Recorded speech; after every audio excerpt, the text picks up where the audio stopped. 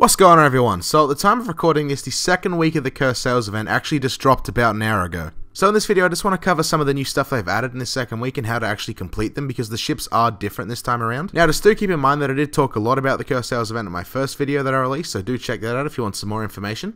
But anyway, let's get into the video. So what they've done this week, they've actually kicked out some of the older ships they've had and they've actually replaced it with three new ships. Now these ships are the Enslaving Chain, the Foul Stride, and the Treacherous Bounty. Now these ships actually have different Curse Cannonballs compared to last week. For example, the Treacherous Bounty actually locks your supplies so you can't get any wooden planks, cannonballs, or bananas bananas from your barrels. Now, for the sake of this video, I'm not actually going to explain what all the Cursed cannonballs do. I believe you should probably go out there for yourself and experience it so you can enjoy this a hell of a lot more. Alright, so getting back on track with the video before I tangent off too far. Now, to summon these ships, you just do essentially the same thing you've done as the previous week. The only thing that actually changes is the times, of course, and the actual contents of the ships that spawn. Now, what they've also done is you can see all this in the patch notes, which I'm sure you can find on their website if you want to go have a look more in detail about what's come out. Now, they've actually increased the time limit in general with this new event. So by that I mean, if you get sunk and you need to come back to the ship, you've actually got more time before the round resets and you have to restart. And there's actually a longer period of time before when the game actually ends and a new one starts, so when you're collecting your loot. But anyway, as I said, for more information, please go to their website. Now let's move on to the tips and tricks part of this video. So there's a few things I actually want to say that I've found out from the previous event. Now these are actually essentially tips that I found in the previous week that haven't quite shared yet, so I just want to share them now, but I'm sure I will be releasing more tips soon. So feel free to subscribe to my channel and hit the notifications if you want to be some of the first people to actually see this. Now just to actually go through them quickly to save you guys time, because I'm sure the last thing you want to do is watch videos and you just want to get out there and play. So essentially my big tip is this, do actually use buckets of water to sink their ship. It is extremely effective as you can see by the video. It is entirely possible to sink their ship just by throwing buckets of water on there. So say if you get a hole in your ship, please definitely keep that water in your bucket and throw it on their ship next time you visit their ship. As of now, they still actually don't know how to bucket water, they only know how to repair, so it's pretty good. And moving on from that, another thing I'd highly suggest is when you're actually attacking them, run in with a pistol and a cutlass. The reason I say a pistol and a cutlass because it allows for more maneuverability and lightweight speed, because I know it is quite easy to get cornered and trapped when you're on those ships. Now actually just quickly, I do want to take a minute just to thank everyone for the support I've been having recently. Now I'm sure if you subscribe you already know this and you've heard me say this a thousand times, but I just want to say it for the new visitors. Every time there's a new Sea of Thieves update that comes out, I'm actually the first person to release on how to complete the events. And just recently when the Cursed Sails event came out, I actually had a website that picked up my video and it just brought in so much traffic. And just seeing so much community input coming together to the videos and also joining my Discord is just absolutely insane. So I thank you guys so much for that. Now if you're subscribed and you're in the Discord, I'm actually fairly sure you've probably seen one of my recent announcements. And that was essentially me talking about my music and how I've just done a little poll to see if anyone wants to hear my music or just ticket to Sea of Thieves. And actually the background music in this video is actually my own music, so I'll be linking that right down below if you want to follow my music and find everything I do and just get more personal with me, feel free to go follow that. And yeah. Now moving on to my final tip of the video. So if you've made it this far, please feel free to leave a like and show your support. But anyway, what you're going to want to do is always form an alliance. I know I've said this before, but I just want to really drill that point in because it's quite important. If you're not playing on a galleon, you're playing on a brigantine or a sloop, I'd highly suggest forming an alliance because no matter what happens, if you stay in that alliance, you're always going to get half of what the other person sells. And it's just a really good little feature that added into the game, and I'm really glad they did. So just don't be too freaked out if someone goes to form an alliance with you. Of course, there are people that do actually kill you and take your stuff right at the end, and I don't really have any tips to sort of work out how to avoid that. Now, I'm sure you could probably work out if the people you're alliance with are actually going to backstab you or not, but just do be cautious when you do that. Now, if you don't want to form an alliance, I just want to say that I do actually have a Discord, and there's over a thousand people in that Discord at the time of recording this, so I guarantee you'll probably always be able to find a crew if you actually want to play with them and you need people. So if you want a crew, just please go down to that Discord and just mingle and just communicate, and I'm sure people want to play with you. And if you even see me in the chat, feel free to talk to me, and I'll, I'll definitely reply. I mean, I love reading all the comments and everything that goes on the Discord. It just makes me really happy. And we've got some really awesome admins that keep the chat nice and friendly and safe. So if you want to do that, feel free to check that out. Okay, so I'm essentially going to wrap up the video here because I've essentially said everything I possibly can at this current point in time. But if you do want to know more about these new events and how to complete the events within the first hour upon release, please do subscribe and hit the notification because as I said, I've always been the first person to release them. And if you want to know specifically more things about the Cursed Sails event, I guarantee I'll be posting more videos about this. So again, do subscribe and hit the notification bell so you can be the first people to see it. And yeah, so if you've enjoyed, please feel free to leave a like. As I said earlier in the video, my music's down below, my Discord's down below, and just all of my socials down below if you want to get connecting with me. And yeah, thank you guys for all the support recently, and I'm really happy to see this channel growing. And I'll see you guys in the next video.